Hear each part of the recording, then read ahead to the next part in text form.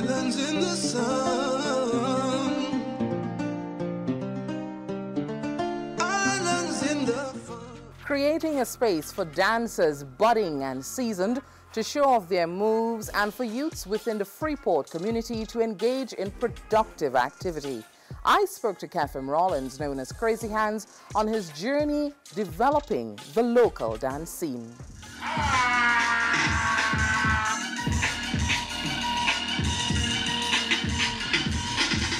Fostering positive interactions, camaraderie, and dance development the brainchild of Kefim Rollins, a central bass dancer who is using his influence and skills to help the future generation of dancers.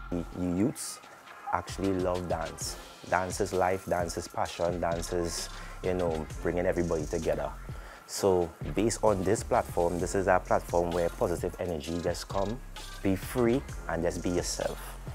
And this is also an influence for, you know, for creatives as well. So actually, they actually come here and enjoy the moment, be free, connect, network. And dance being a multifaceted art form, the Yard Open dance sessions aren't limited to one style.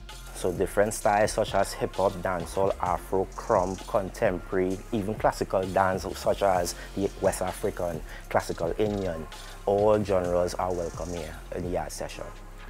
Kefim believes that dance artistry is entering a new era of acceptance and recognition locally, and so he's calling on youths to get into dance as it can contribute positively to their lives and by extension the industry. We have a lot of activities happening in the country right now that we need positive impact in our lives. So dance is one of the best things. So even if it's not dance, it's other perspective like music, sports, other positive influence actually inspired youths.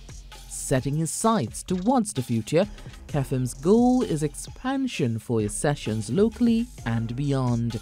I'm Cherrylene Lewis for TTT News, urging you to live for local.